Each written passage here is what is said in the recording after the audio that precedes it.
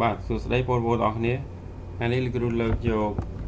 វិធីចងចាំរូបមន្ត្រីកោនមៀតបានឆាប់រហ័សនិងមិនងាយភ្លេចចំពោះអានុគមស៊ីនម្ដងបាទភាគទី2យើងនឹងមានភាគទី3ទី4បន្តបន្តទៀតណាអញ្ចឹងយើងបកស្រាយថាអានុគមកោសពីមុនពីវគ្គមុនគេថាប្រកាន់បពពួកមិនស្មោះត្រង់ហើយស៊ីនផ្ទុយមកវិញ គឺមិនប្រកាន់បពពួក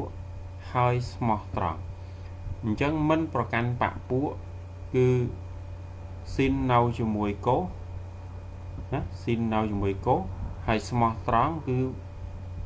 បើសញ្ញាពីដើមបូកវាឲ្យផលមកបូកដែរអញ្ចឹងវាស្មោះត្រង់មិនស៊ីននៅជុំកោហើយម្នាក់ម្ដងមានថាមុន គឺស៊ីន A កោ B បាទស៊ីន A កោ B បន្ទាប់មកស៊ីន B កោ A មានថាម្នាក់ម្ដងស៊ីន A ផង ស៊ីន A នៅអង្គទី1ហើយ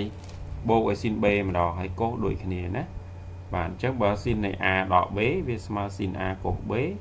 ដកស៊ីន B កុស A អញ្ចឹងអានេះងាយងាយចាំជាងគេណា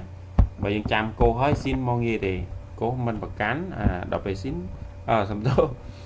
កុសប្រកាន់បបួកមិនស្មោះត្រង់ហើយស៊ីនមិនប្រកាន់ទេអញ្ចឹងវាម្នាក់ម្ដងអញ្ចឹងយើងមើលឧទាហរណ៍អនុវត្តអញ្ចឹងអានេះប្រហែលជាវីដេអូនេះខ្លី តែស៊ីននេះងាយជាងគេណាបើយើងយកលេខដដែលមក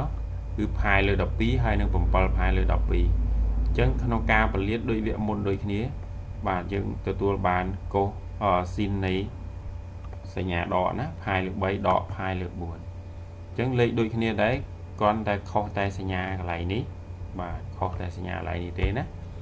បាទអញ្ចឹងស៊ីនផាយលើ3ស្មើឬ3លើ2កុសផាយលើ4ឬ2លើ2 បាទអញ្ចឹងកន្លែងនេះគឺយើងបានដកផាយលើ4បាទហើយមួយទៀតគឺ7ផាយលើ12បាទ7ផាយលើ12យើងបំបែកដូចវគ្គមុនណាដូចវីដេអូភាគទី1អញ្ចឹង7យើងបំបែកទៅ4បូក3ហើយ4និង12សម្រួលទៅ3និង12គឺយើងសម្រួលបានអញ្ចឹងយើងទទួលបានមុំស៊ីននៃផាយលើ3បូកផាយលើ4អញ្ចឹងរូបមន្តដូចគ្នាបានយើង គណនាទៅចម្លើយប៉ុណ្ណេះអញ្ចឹងវីដេអូលើនេះខ្លីណា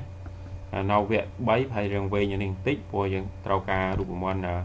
កុស a បូក b កុស a ដក b ស៊ីន a បូក b ស៊ីន a ដក b អញ្ចឹងវាមានវិធីចាំលឿនហើយមិនងាយភ្លេចបាទអរគុណសូមរងចាំភាគទី3បន្តបាទវីដេអូនេះលោកគ្រូសូមបញ្ចប់ប៉ុណ្ណឹងហើយ